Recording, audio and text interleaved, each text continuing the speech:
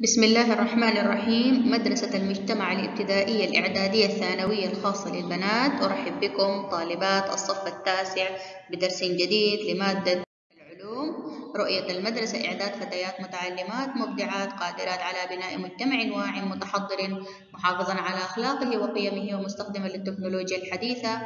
رسالة المدرسة تهيئة بيئة تربوية وتعليمية للوصول للريادة والإبداع عبر التعلم والقيم استخدام التكنولوجيا الحديثة وبشكل مناسب وفعال تنمية الطالبات علميا بدنيا وجدانيا تربويا.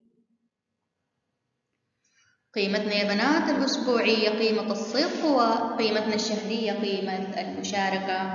الصدق هو قول الحقيقة وهو فضيلة من الفضائل وهو عكس الكذب الذي نهانا عنه ديننا الإسلامي. المشاركة عزيزاتي هي عنصر أساسي في التفاعل الإنساني وهي مسؤولة عن تعزيز الروابط الاجتماعية وضمان رفاهية الإنسان واستمرار المعايشة بين المجتمعات. لازلنا في الوحدة الثامنة التكاثر التكاثر في النبات الجزء الرابع. أهداف درسنا اليوم تصفي التكاثر اللاجنسي في النباتات بصورة صحيحة تستقصي تكاثر نبات البطاطس بالدرنات وتذكري أمثلة على التكاثر اللاجنسي في النباتات بصورة صحيحة.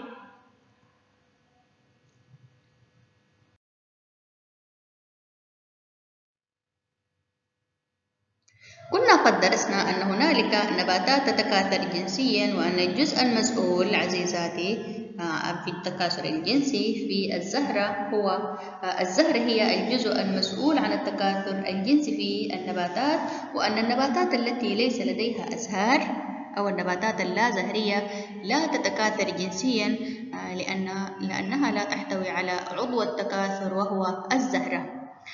واتضح لدينا أن هنالك تكاثر يتم عن طريق الحشرات وتكاثر يتم عن طريق الرياح. وتمت المقارنة بينهم في جدول في الدروس السابقة. تعرفنا أيضا على مكونات الزهرة وعلى الأعضاء المختلفة التي عليها وذلك عن طريق الرسم الموضح في الكتاب. وكذلك من خلال الصور يمكننا تحديد الأزهار أو النباتات التي تتكاثر جنسيا يكون لديها أزهار ملونة وأجهزتها واضحة. أما التي تتكاثر عن طريق الرياح فكان شكلها يختلف لأن ألوانها دائما خضراء دائما خضراء أو بنية. كذلك درسنا في الحصة السابقة الإخصاب عزيزاتي وهو التكاثر الجزء الثالث وعرفنا عملية الإخصاب والخطوات التي تمر فيها في الكتاب صفحة 74 إذا درسنا اليوم في الكتاب عزيزاتي صفحة 75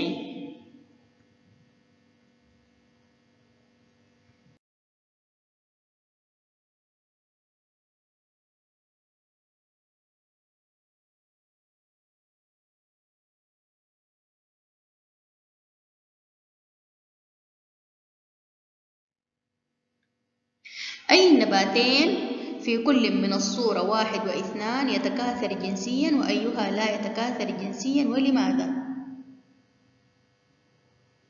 الصورة واحد والصورة اثنان كما نرى أن الصورة واحد عزيزاتي هل تحتوي على أزهار ولا لا؟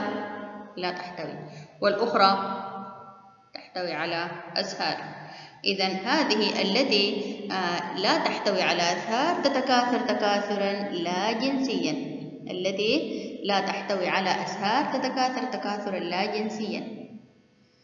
لأنها لم يتم إنتاج الثمار اللي موجودة عليها عن طريق الأزهار إذا هو تكاثر لا جنسي لأن الثمار الناتجة تحت الأرض لم تنتج من الأزهار أما في النبات الآخر في الصورة رقم اثنان وتتكاثر تكاثرا جنسيا لأنه يحتوي على الأزهار والأزهار طبعا تحتوي على أعضاء ذكرية وأنثوية أي مسؤولة عن عملية التكاثر الجنسي في النباتات الزهرية.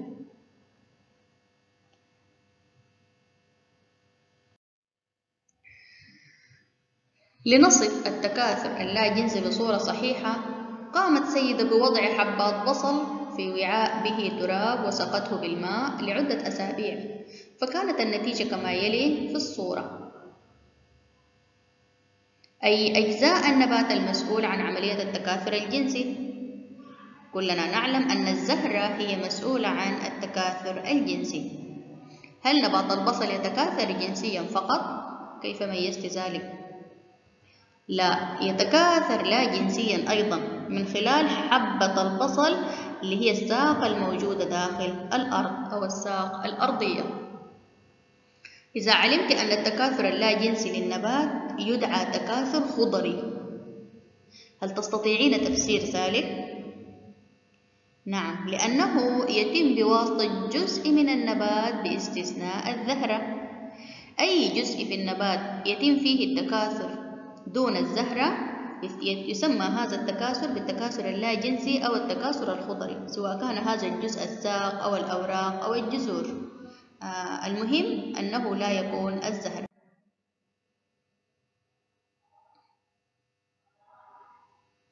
ولكن هل نبات البصل فقط هو الذي يتكاثر لا جنسيا؟ أم هنالك نباتات أخرى وطرائق أخرى؟ من المؤكد أن هنالك نباتات أخرى لنتعرف على طريقة أخرى للتكاثر اللاجنسي من خلال الهدف الثاني. إذا أن أن تستقصي تكاثر نبات البطاطس بالدرنات هو النشاط رقم سبعة اللي موجود في الكتاب صفحة 75 الآن عزيزاتي أفتح الكتاب صفحة 75 واقرأي خطوات النشاط. ثبتي أربع أعواد خشبية في حبة البطاطس كما في الشكل اللي موجود عندك طيب لننفذ خطوات النشاط. لدينا حبة بطاطس. نقوم بثقب هذه آه، بأعواد خشبية كما في الشكل. ونثبت حبة البطاطس عن طريق الأعواد في الكأس. نثبتها في الكأس كما نرى في الشكل. ونضيف الماء إلى الكأس بحيث يلامس الطرف السفلي للبطاطس فقط حتى لا يتعفن. نضع الكأس في مكان مظلم ونتركه مدة أسبوع إلى أسبوعين. نسجل الملاحظات. وبعدها ننقل الكأس إلى مكان مشمس بجانب الشباك وراقب نمو النبات الجديد. استمر بريه عند الحاجة. ريه أي إضافة الماء له. يمكنك زراعة النبات الجديد في التربة. لنكتب الملاحظات ونقارن بين التغيرات التي طرأت على نبات البطاطس عند وضعه في مكان مظلم وعند وضعه في مكان مشمس. نرى أنه تكونت براعم على آه، البطاطس. وجذور أيضا بعد ثلاث أسابيع. آه لدينا في الكتاب يلا اكتبي عزيزتي الإجابات. آه ضع الكأس في مكان مظلم وأتركه لمدة أسبوع إلى أسبوعين سجل ملاحظاتك. رأينا أن الملاحظات تكونت فيها درنات لهذه تكونت براعم على درنة البطاطس. تكونت براعم على درنة البطاطس. آه التحليل نقارن بين التغيرات التي طرأت على نبات البطاطس عند وضعه في مكان مظلم. في المكان المظلم تظهر براعم على درنة البطاطس. أما في المكان المشمس ماذا حدث؟ تنمو البراعم وتظهر الأوراق الخضراء وتظهر الجذور. إذا في المكان المظلم تظهر البراعم. في المكان المشمس تنمو هذه البراعم وتظهر الأوراق الخضراء وتظهر الجذور. ما أهمية درنة البطاطا للنبات الجديد للنباتات الجديدة التي تنشأ منها. هذا بالكتاب صفحة 79 ما أهمية الدرنة؟ نعم. أهميتها في أنها ساق أرضية تخزن الغذاء اللازم لنموها عند تكاثرها لا جنسيا والبطاطس الناتجة. يحمل صفات متطابقة تماما للبطاطس الأم. إذا البطاطس الذي تكاثر عن طريق تكوين البراعم آه، يكون الناتج آه، بطاطس جديد يحمل صفات متطابقة تماما للبطاطس الأم أو البطاطس الأصلية. لدينا تقويم بنائي كيف يتم التكاثر اللاجنسي في النبات؟ نعم بواسطة أجزاء النبات المختلفة باستثناء الزهرة. ما نوع الانقسام الذي يحدث في الخلايا عند التكاثر اللاجنسي؟ ما نوع الانقسام؟ هو لا جنسي معناه حيكون انقسام اختزالي ولا انقسام منصف؟ نعم انقسام متساوي سيكون انقسام متساوي أو ميتوزي. لأنه يتم في الخلايا اللاجنسية. ما العلاقة بين صفات النبات الأصلي والنبات الناتج من التكاثر اللاجنسي؟ طيب النبات الناتج من التكاثر اللاجنسي يكون صفاته متطابقة تماما بينهما. لنذكر أمثلة على التكاثر اللاجنسي في الهدف الثالث بالنسبة للنباتات. هل هنالك نباتات كثيرة تتكاثر بالتكاثر اللاجنسي ولا لا؟ إذا لدينا أمثلة على نباتات تتكاثر لا جنسيا صلي بين الصورة وطريقة التكاثر اللاجنسي التي تتوقعينها.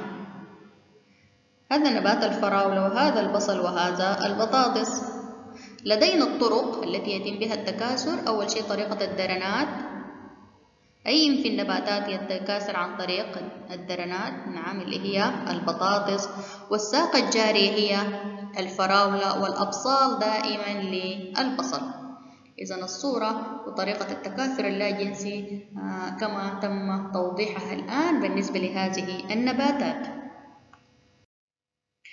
آه إذا لدينا التكاثر اللاجنسي أو الخضري عندنا في صفحة 76 التكاثر اللاجنسي أو الخضري صفحة 76 نخطط على تعريفه هو التكاثر الذي يتم من فرد واحد وليس من تزاوج جنسي عضوية أو أنثوية أو ذكرية اللي هي التكاثر الذي يتم من فرد واحد وليس من تزاوج جنسي هو تعريف التكاثر الخضري. مهم جدا نخطط على تح تح آه هذا التعريف ونحفظه يا بنات. هو لا يتم عن طريق تزاوج جنسي. أعضاء ذكرية وأنثوية لا. هو يتم فقط آه من فرد واحد. ويتم هذا التكاثر باستخدام جزء من النبات جزر ساق أوراق ولكن باستثناء الزهرة. أن الزهرة لا تكون آه، لها آه، أي وظيفة في هذا التكاثر لأنه تكاثر لا جنسيا. كذلك النبات الناتج من التكاثر اللاجنسي يا بنات أو التكاثر الخضري يكون مطابقا في صفاته للنبات الأصلي الأم. كما نرى هذه بعض النباتات التي تتكاثر تكاثر آه، لا جنسي أو تكاثر خضري وهو نبات البطاطس عن طريق الدرنات.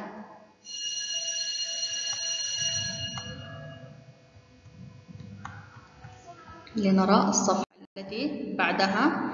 آه، أمثلة على طرائق التكاثر اللاجنسي في النبات أيضا صفحة 76 آه، طريقة الدرنات هي طريقة حدوثها. إنها عبارة عن ساق أرضية منتفخة تخزن الغذاء. تزرع قطع منها تحوي براعم لتكون نبات جديد. آه ومثال له البطاطس. وهذه صورة توضيحية لطريقة التكاثر بالدرنات كذلك لدينا طريقة التكاثر بالجذور آه اللي هي تخزن الغذاء إذا وجدت بيئة مناسبة تنمو لنبات جديد مثل الجزر الأبيض واللفت. هذه النباتات تتكاثر عن طريق الجذور. لدينا أيضا آه، الطرق هذه نباتات وطريقة التكاثر اللاجنسي. النخيل يتكاثر عن طريق الفسائل والفراولة عن طريق الساق الجارية. والبصل عن طريق الأبصال والزنجبيل عن طريق الرايزومات والبطاطس عن طريق الدرنات. الزنجبيل كذلك نضيف عليه النعناع يا بنات عن طريق الرايزومات. الجزر الأبيض عن طريق الجذور آه إذا ما طريقة تكاثر نبات النعناع في الصورة. نبات النعناع في الصورة عن طريق الجذور ولا الرايزومات ولا الفسائل. عن طريق الرايزومات ما صفات حبات محصول البطاطس الناتج من زراعة الدرنات؟ حجمها صغير. إحنا ذكرنا إنه التكاثر الخضري أو اللاجنسي آه الناتج أو النبات الجديد يكون يحمل نفس صفات الخلية الأم. إذا سيكون جميعها صغيرة الحجم. صفاتها سيكون جميعها صغيرة الحجم لأنها مفترض أن تحمل جميع الصفات الموجودة في الخلية الأصلية أو الخلية الأم. كذلك أن تذكري أمثلة على التكاثر اللاجنسي في النبات. آه، لدينا السؤال عشرة الفرعي A صفحة 79 نقارن بين نبات الفراولة ونبات النعناع من حيث طريقة التكاثر اللاجنسي في كل منهما. النبات اللي هو عندنا النعناع عزيزاتي وعندنا الفراولة. لنرى طريقة التكاثر. النعناع طريقته عن طريق الرايزومات مثل الزنجبيل والفراولة تتكاثر عن طريق الساق الجارية. ممتاز. إذا لدينا نباتين. نبات النعناع يتكاثر عن طريق الرايزومات ونبات الفراولة يتكاثر عن طريق الساق الجارية وكلها تكاثر لا جنسي أو تكاثر خضري يتم عن طريق جزء في النبات دون الزهرة. يعني يا إما يتم عن طريق الجزر أو الساق أو الأوراق ولكن لا دخل للزهرة في هذا التكاثر. أحسن. تابع معنا. لدينا أيضا سؤال مهارات التفكير العليا عزيزاتي استنتجي كيف تكون المادة الوراثية في نباتات الفراولة الصغيرة مقارنة بنبات الفراولة الأصلي؟ المادة الوراثية ستكون متطابقة تماما. ممتاز. ما هي مميزات وسلبيات التكاثر اللاجنسي؟ لديه إيجابيات. إيجابياته أنه ينتج محاصيل كبيرة في زمن قصير وتكون صفات الناتج متطابقة في الصفات ولكن سلبياته لا يوجد تنوع في الصفات وكذلك تنتقل الصفة غير المرغوب في النبات الأم إلى جميع أفراد المحصول الناتج. ممتاز. أحسن تابع معنا.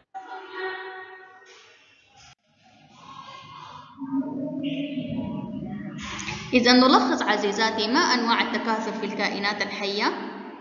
نعم. لدينا نوعان من التكاثر. تكاثر جنسي مثل التكاثر في الإنسان والحيوان وتكاثر لا جنسي آه، مثل التكاثر بالدرنات في البطاطا اللي هو نوع من التكاثر الخضري. آه، إذا نلخص عزيزاتي درسنا في الدفتر ونخطط على الأشياء المهمة في الكتاب ونعرف آه، الأنواع الخاصة بالتكاثر اللا جنسي في النباتات أو التكاثر الخضري لبعض النباتات المذكورة عندنا في الكتاب. لدينا في الكتاب عزيزاتي صفحة 76 جدول عليه نباتات وطريقة حدوث التكاثر اللاجنسي فيها ومثال لهذه النباتات بالشكل وبالرمز آه، إذا آه، نقوم بمراجعة درسنا عزيزاتي في الكتاب. أترككن في رعاية الله وحفظه.